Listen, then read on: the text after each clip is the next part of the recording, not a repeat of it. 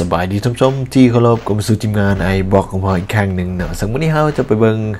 สถานการณ์ของทีมซาลาวสุดใหญ่ในการแข่งขันบาเตเอเบฟมิซูบิชิเอริทิกครับ2022นะซึ่งก็ดังที่หัว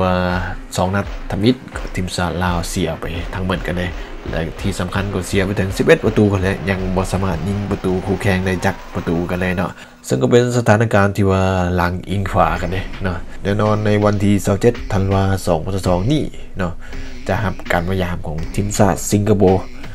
อยู่ที่สนามกีฬาแห่งชาติหลัก 16 นครหลวงจันทร์สปปลาว ซึ่งก็เป็นนัดสำคัญเลยล่ะในการเรียกศรัทธาจากแฟนหวานขึ้นมานะหลังจากที่ว่าเสียไป 2 นัด แบบขาดลอยกันเลยนะซึ่งวันนี้เขาจะไปเบิ่งบทสัมภาษณ์ของทางด้านครูฝึก และก็บทสัมภาษณ์ของวินดี้เกตแก้วพรมพรนักเตะเสื้อสายลาวนะที่ว่าบอกถึงความรู้สึกที่ว่าได้มาบ้านเกิดของพ่อแม่เนาะซึ่งเขาจะไปเบิ่งนำกันในคลิปนี้เนาะก่อนจะไปเบิ่งคลิปนะเขาก็มีเหตุการณ์ที่ว่าล่าสุดในตอนเช้าของวันที่26ธันวาคม2022 ก็ได้มีวิธีแถลงข่าวกระเกียงความพร้อมก่อนการแข่งขันโดยวิธีของเกมแลนด์มาร์กนะเป็นพิธีแถลงข่าวก่อนจะแข่งขันในนัดที่ 3 ก็คือนัดทีมชาติลาวจะรับการมายามของทีมชาติสิงคโปร์นั่นเองสังหวะนี้พิธีดังกล่าวทานไมเคิลไวส์หัวหน้าผู้ฝึกของทีมชาติลาวเพิ่นก็มีการ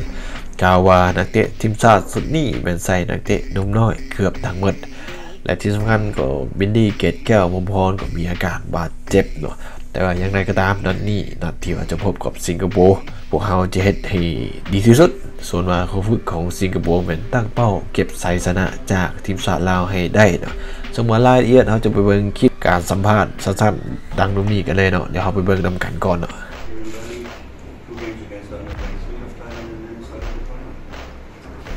ก็คือทีมชาติลาวมีการเก็บทีมเนาะเป็นระยะเวลาสองเดือน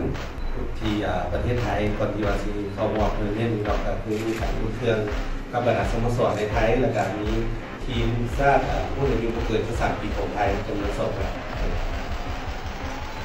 substandard game against Vietnam, home, unfortunately in front of a good crowd. And uh, we made similar mistakes, unfortunately, with cross balls defending in the second game. This is the thing we have to then, uh, we have to uh, analyze and make much better tomorrow. But we will also go on a more offensive set tomorrow. We will not sit back only. We want to go for a good, better result, for a better style of play football. We are home. and We have the best, strongest tournament. Uh, performance away with Vietnam and Malaysia. Uh, not to say Singapore and Myanmar are, are lower, but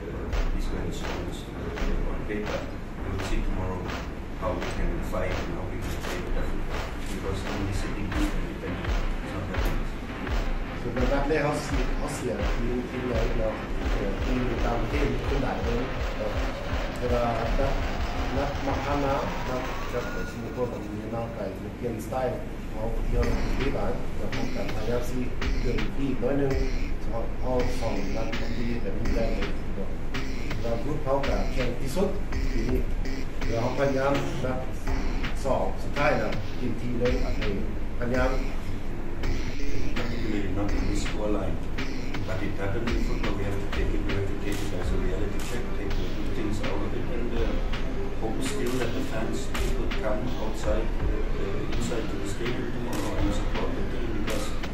if they turn a blind eye on the team now, it doesn't help really. We have many young players who, who are happy to uh, receive good support from the crowd. I think that's very important, especially in these times. People should come more to the stadium. So please try to come in numbers tomorrow because it's at 5 o'clock. Uh, a little bit early, but try to find time to watch the game. We're looking very thankful for that. ส่วนเราว่าเนาตัวสองนัดทำนี้เราก็เสียใจเราที่เขาที่เสียแต่ว่านี่ก็เป็นที่บ้านปกติเนาะแต่ว่าให้แฟนพยายามมาเบิ่งสนามให้คุณมาเบิ่งเขามีเวลามาเบิ่งหลายทีมเขาเป็นทีมวัยรุ่นจะต้องให้ต้องการแห่งสนับสนุนบุคคลเนาะนี่จะเป็นนัดสุดท้ายของที่เขา ถ้ามีเวลามาขอมาเรื่องที่บ้านเรื่องเขาเชียร์เขา Okay?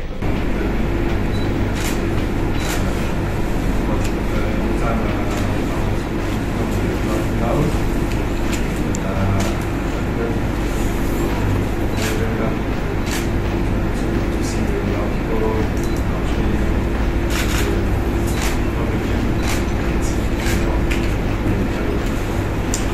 ดีใจหลายๆเราเราก็บ่เคยมามามาทมิตมาประเทศเราแต่เราก็บ่ได้เวลาเบิ่งเห็นหลายเนาะแต่ว่าเราดีใจเราแบบกับมาคือแบบเบิ่งส่วนถ้าเรามีเวลาเราก็สิไปเบิ่งเบิ่งหลายสำหรับทีมชาติลาวสุดใหญ่ลงสนามนันทำอิดแมนเซียกับทีมชาติเวียดนามคาลอย0ต่อ6อยู่ที่สนามกีฬาแห่งชาติหลัก 16 ในอาทิตย์ที่ผ่านมานะ ซึ่งล่าสุดในนัดที่ 2 ก็วันที่24ธันวา2022เนาะลงสนามนัดที่ 2 ในหอบเมืองกลุ่มกลุ่มบี้เนาะก็เสียให้กับทีมชาติมาเลเซียไปค่าลอยกันเลย0ประตูต่อ6อยู่ที่สนามบูกิตจาลิวเนชั่นแนลสเตเดียมในนครหลวงกัวลาลัมเปอร์ประเทศมาเลเซียนั่นเองซึ่งก็เป็นผลงานที่ว่าน่าผิดบังของทีมชาติลาวบ่สามารถต่อกรครับสองอย่างใหญ่ในอาเซียนของเฮาได้เนาะ ซึ่งวันจากผลดังกล่าวแค่แต่ทีมชาลาวลงสนามไป 2 นัดบ่มีจักคะแนน และเสียไปถึง 11 ประตูอยู่อันดับที่สุดท้ายของกลุ่มบีนะส่วนมามาเลเซียมี 6 คะแนนจาก 2 นัดยึดทีมนำของกลุ่มบีเนาะส่วนมาที่ 2 เป็นเวียดนามมี 3 นัดจาก 1 นัด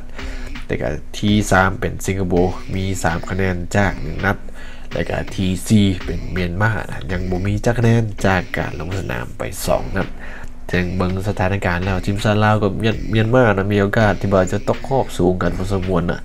เกือบมา 99%กันละอย่างไรก็ตามทีมชาติลาวส่วนใหญ่จะลงสนามพบกับทีมชาติสิงคโปร์ในนัดที่3เนาะในวันที่27ธันวาคม2022เนาะเวลา 17โมง00ในบ้านเฮาก็คืออยู่ที่สนามกีฬาแห่งชาติหลัก 16 เพื่อเป็นการเรียกศรัทธาจากแฟนบ้านคืนมานะ เดี๋ยวเราไปเบิ่งสถิติการพบกันของทีมชาลากับทีมชาติสิงคโปร์กันก่อนนะซึ่งว่าในประวัติศาสตร์ของอกีฬาบานเตะซิงแซมแห่งชาติอาเซียนนะนับตั้งแต่ปี 1996 จนถึงปี 2000อ่าซาวที่ว่าแข่งขันสำเร็จไปแล้วเนาะซึ่งในนั่นก็จัดมาเป็นครั้งที่ 13 กันแล้วนะซึ่งมาสิงคโปร์ก็เคยมีแซมถึง 4ครั้ง4สมัยคนใดท่านผู้ชมก็คือว่าเป็นทีมที่ว่าน่ายานกลัวเนาะต่อกับทีมชาลาวซึ่งว่าสถิติการพบกันครั้งชีวิตของทีมชาลาวกับทีมชาติสิงคโปร์เกิดขึ้นในอ่าบัตรเตชิงแชมป์แห่งชาติอาเซียน ปี 1998นะซึ่งอันในปีนั้นก็ยังเป็นซีไทเกอร์ครับกันอยู่เนาะทีมชาติลาวก็เสียให้กับทีมชาติสิงคโปร์ไปหนึ่งประตูต่อ4เนาะซึ่งว่านี่ก็เป็น การพบกันครั้งทมิตรเนาะในรายการนี้รายการเฮดทีมชาติลาวลงสนามไป 3 นัดเสีย 2 เสมอ 1 ตกรอบไปในไทเกอร์ครับปี 1900 98เนี่ยเป็นสุดท้าครั้งที่ 2 ก็เจอกันคือรายการไทเกอร์คัพปี 2 ถึงว่าในปีนี้ก็เป็นทีมชาติลาวเสียไปขาดลอยศูนย์ประตูต่อ3นะเห็นให้ลงสนามไป 4 นัด เสียไปทั้งหมดกันเลยก็ตกหอบไป แล้วว่าครั้งที่3ที่เคยพบกันกับทีมชาติสิงคโปร์ก็เกิดขึ้นในปี 2002ก็เป็นยังเป็นรายการไทเกอร์คัพกันอยู่เนาะยังเป็นไทเกอร์เพิ่นเป็นผู้สนับสนุนเส้นเก้าหน่อยซึ่งว่าในปีนี้ทีมชาติลาวก็เสียให้กับสิงคโปร์ไปอุดวิดเนาะหนึ่งประตูต่อสองซึ่งว่าในปีนี้ทีมชาติลาวลงสนามไป 3 นัดเสมอในเพียงนัดเดียวเสียไป 2 นัด มี 1 คะแนนตกรอบไป ซึ่งนี่ก็เป็นอีกปีหนึ่งที่ตกรอบไป ส่วนมาข้างต่อมาเป็นข้างที่4เนาะที่พบกับทีมชาติสิงคโปร์เกิดขึ้นในปี 2004 รายการบานเตะซิงแซมแห่งชาติอาเซียนเนาะถึงว่าในปีนี้ทีมชาติลาวก็เสียกับทีมชาติสิงคโปร์ไปคาดลอยอีกปีหนึ่ง2ประตูต่อ6เนาะถือว่าคาดกันหลายพอสมควร ซึ่งก็ปีนี้ทีมชาติลาวลงสนามไป 4 นัด ชนะได้ 1 นัด แล้วก็เสีย 3 นัด มี 3 คะแนน เป็นปีที่มาทีมชาติลาวเก็บใส่ชนะได้ในปีนี้เนาะแล้วก็ปีต่อมาเป็นครั้งที่ 5 กันแล้วเนาะที่ว่าเคยพบกับสิงคโปร์คือในปี 2007ทีมชาติลาวเสียไปขาดลอยศูนย์ประตูต่อ 11 ถือว่าขาดลอยหลายที่สุดกันเลยก็ว่าได้และครั้งที่ 6 ที่เคยพบกันคือเกิดขึ้นในบานเตะ ซิงแชมป์อาเซียนในปี 2012 ทีมชาติลาวเสียกับทีมชาติสิงคโปร์ 4-3 เนาะซึ่งวันนั้นนี่ก็เห็นให้ทีมชาติลาวตกรอไป